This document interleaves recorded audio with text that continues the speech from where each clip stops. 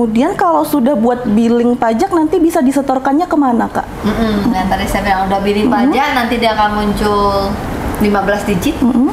15 digitnya bisa disetor lewat m-banking Oke. atau internet banking atau ke bank atau ke ATM atau GC ATM mini di kantor.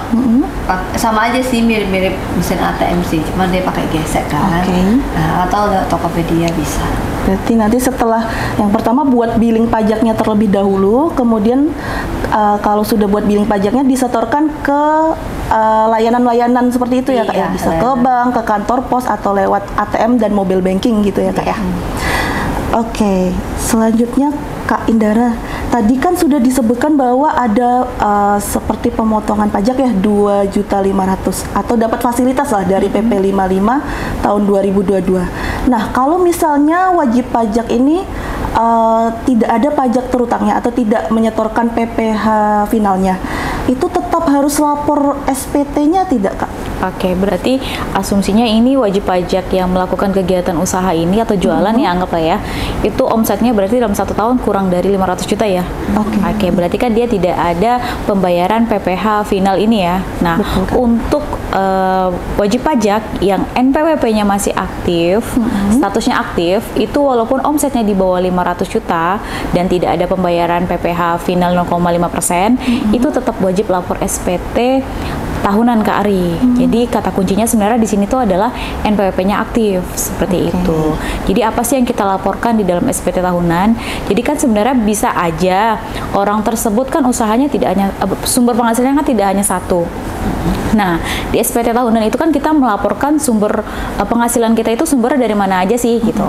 Bisa jadi ternyata dia usahanya omsetnya di bawah 500 juta, tapi dia ada sumber penghasilan lain nih, misalnya ada dividen kah atau misalnya dia ada eh, penghasilan lain lah berupa hibah atau eh, penghasilan lainnya misalnya jasa atau apa kayak gitu seperti itu. Nah, dia tetap wajib eh, melakukan pelaporan SPT tahunan, melaporkan seluruh penghasilan dia baik dari mana pun sumbernya di SPT tahunan tersebut.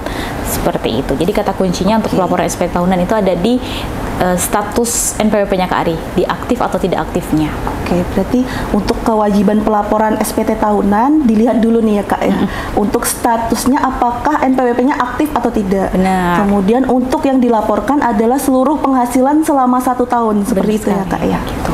Nah, gimana sih cara ngecek NPWP kita aktif atau tidak gitu? Eh, seharusnya sih kita tahu sendiri ya. Kita pernah mengajukan eh, permohonan non aktif, non F, non aktif, non efektif atau tidak seperti itu kan. Nah, kalau misalnya memang kita ragu, kita sebenarnya bisa ngecek sendiri sih Kak Ari di akun DJP online kita masing-masing. Nah, di situ nanti di bagian profil sebenarnya kita bisa ngelihat status kita aktif atau non efektif seperti itu. Oke, berarti masuk ke web DJP online kemudian cek ke menu profil seperti Menu itu ya kak profil, ya. iya. Untuk melihat statusnya aktif atau Benar, tidak. jadi nggak perlu datang ke kantor pajak kan buat ngecek eh, kak eh, status NPWP saya aktif atau tidak seperti itu. Berarti kalau misalnya NPWP-nya nih non efektif gitu ya, tidak aktif, itu berarti uh, tidak perlu lapor pajak ya, seperti itu ya kak? Sebenarnya tidak perlu lapor pajak jika memang dia eh, nyata-nyatanya sa- setelah dia mengajukan non efektif dan setelah dia statusnya non efektif tidak ada lagi penghasilan seperti itu.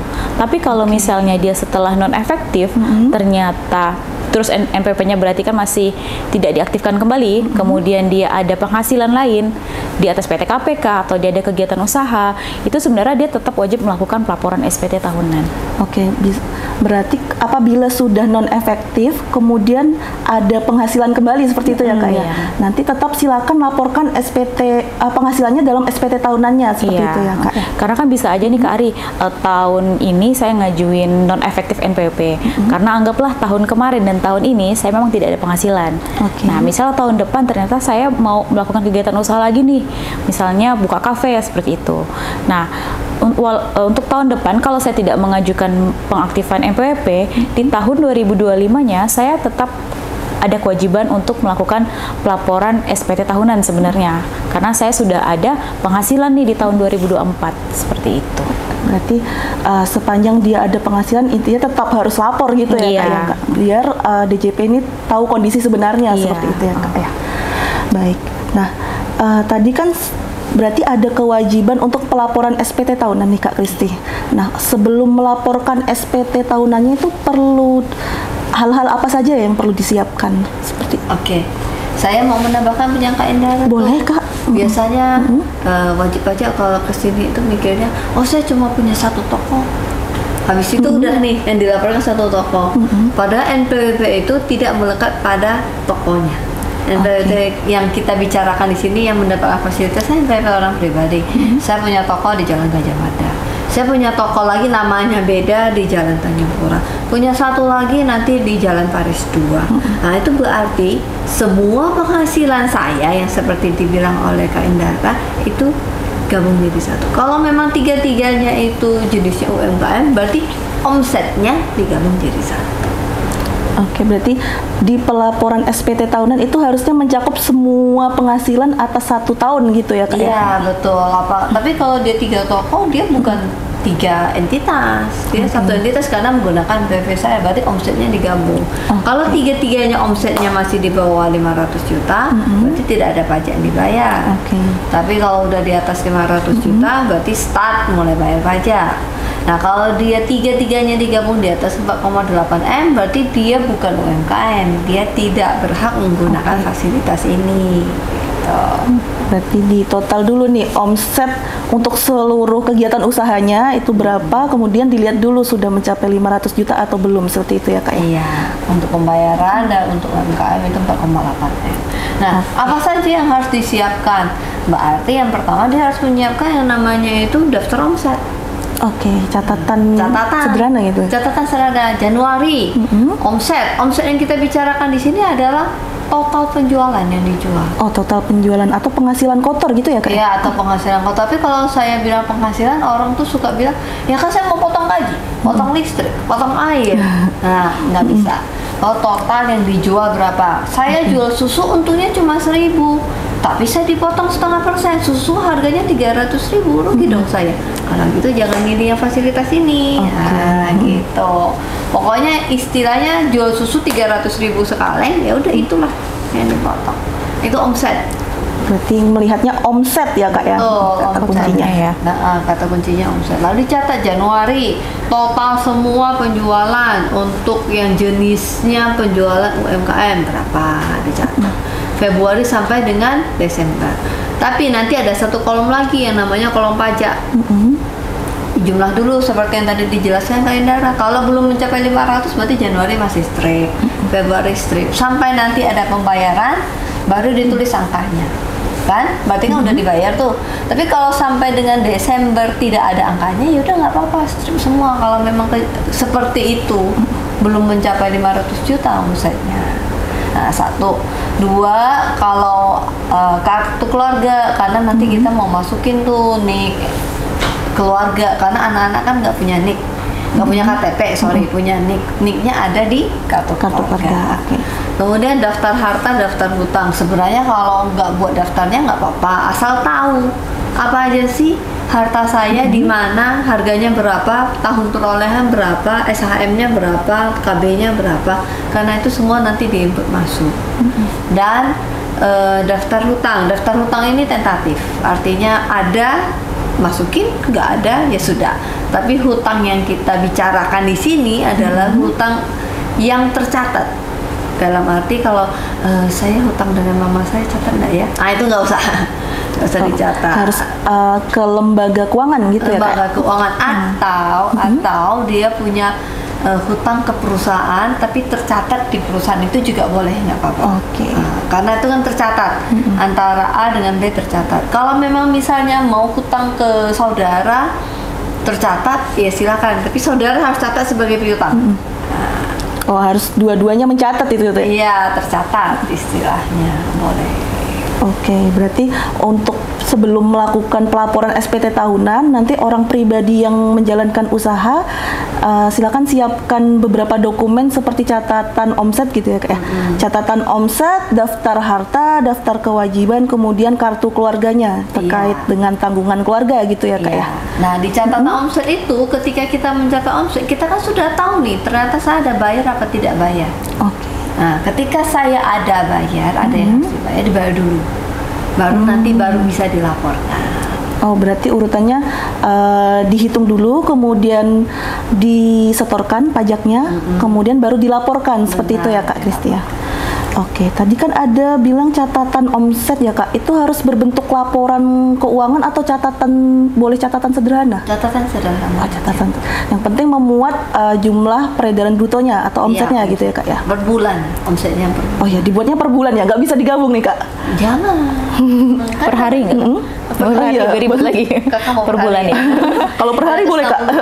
Jadi sebenarnya ini Kak Ari eh, fi- eh, filosofi ya, filosofi atau apa ya yang saya tahu tuh sebenarnya ini juga terma eh, kemudahan lah untuk wajib pajak. Jadi kenapa diberikan tujuh tahun? Jadi kan tidak mungkin tidak semua orang itu paham mengenai cara pembuatan laporan keuangan atau pembukuan. Nah itulah makanya pemerintah memberikan eh, waktu tujuh tahun ini kepada orang pribadi untuk melakukan eh, belajar lah ya untuk mem- nanti ketika dia sudah tujuh tahun menggunakan pencatatan jadi cukup melakukan pencatatan omset aja tanpa dia harus membuat ini biaya eh, atas pendapatan ini apa aja sih pengeluaran pengeluarannya karena kan mungkin tidak semua orang paham mengenai laporan keuangan seperti itu. Nah dalam waktu tujuh tahun inilah pemerintah memberikan waktu ya kepada wajib pajak orang pribadi untuk mempersiapkan nanti setelah tujuh tahunnya dia harus melakukan pembukuan yaitu membuat berapa sih pendapatan saya kemudian apa saja sih biaya-biaya yang saya keluarkan seperti itu. Oke, berarti setelah nanti setelah menggunakan selama tujuh tahun itu ya kak, jadi harus membuat uh, semacam laporan keuangan gitu ya Benar, kak, karena pembukuan. uh, untuk aturannya sudah tidak menggunakan dasar penghitungannya bukan berdasarkan omset tapi berdasarkan penghasilan bersih seperti Iya, itu ya kak. penghasilan Catatan bersih. keuangan. Pak. Iya, jadi sebenarnya dalam waktu tujuh tahun ini sebenarnya kita sebagai pengusaha eh, diarahkan untuk belajar gimana sih cara membuat Laporan. eh, Laporan laporan keuangan. seperti Tapi itu. itu nanti aja. Masih punya satu tahun. Tujuh tahun ya? Tujuh tahun. Tujuh tahun sebenarnya untuk belajar. tujuh tahun dari start membuat MPWP. Oke Iya. lah Oke. kita katakan ini banyak MPWP lama, ah, masih ada satu tahun. Belajar. Oke, berarti nanti tahun 2024 masih bisa menggunakan Masih seperti itu ya kak bisa. ya. Terakhir ya Kak, Kak Kristi ya. Terakhir tapi untuk yang terdaftar di bawah tahun 2018. Nah, tapi ada satu lagi. Tadi kan saya ada sebutkan KLU KLU tuh. Oke. Itu gimana sih saya cara taunya? Pertanyaannya begitu.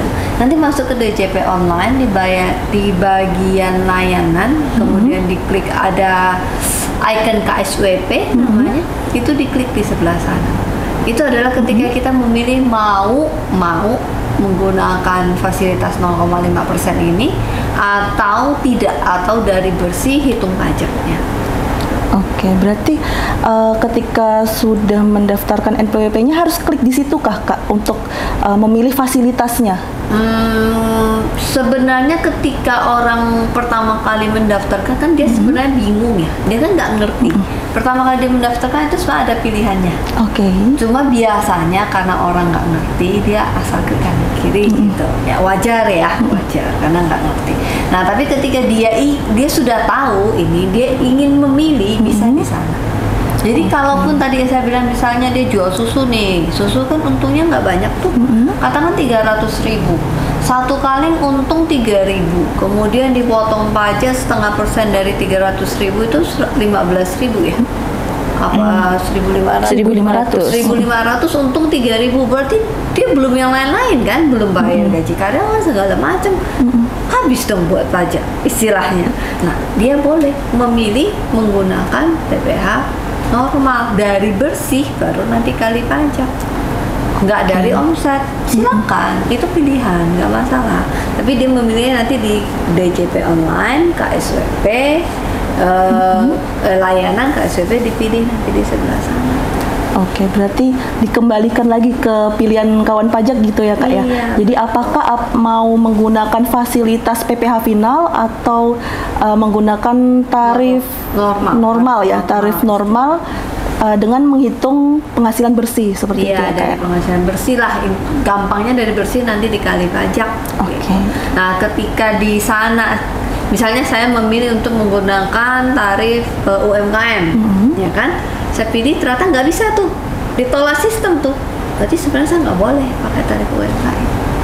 Oh, berarti kalau misalnya uh, wajib pajak nih Kak sudah klik untuk menggunakan fasilitas PP 55 tahun 2022, kemudian di DJP online-nya tulisannya tidak memenuhi seperti itu ya Iya, Kak? tidak memenuhi. Kalau tidak memenuhi berarti oto apakah otomatis menggunakan tarif normal Kak?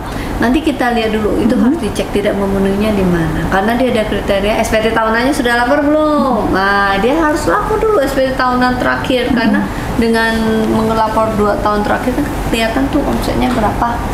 Nah, sudah dilaporkan. Kemudian lihat yang kedua adalah KLU-nya sepertinya.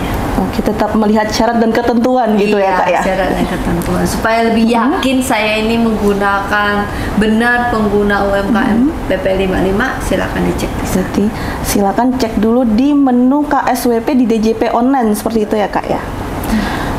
Oke, tadi sudah disinggung ya di mana pelaporan SPT tahunannya kak Indara. Jadi istilahnya semoga bisa mempermudah eh, karena kan sekarang namanya zaman online. Online, ya. Saya nggak sempat ke KPP, saya bisanya malam, KPP-nya udah tutup, ya silakan. Berarti dicoba sendiri di rumah gitu ya kak Iya ya? dicoba kan juga banyak kalau yang situs-situs yang terpercaya ya Mm-hmm. dia udah banyak yang mengajarkan bagaimana sih Oke. cara pelaporannya gitu langkah-langkahnya. Soalnya kalau ngomong kayak gini hmm, gimana? Mengawang-awang ya kak. Mengawang-awang.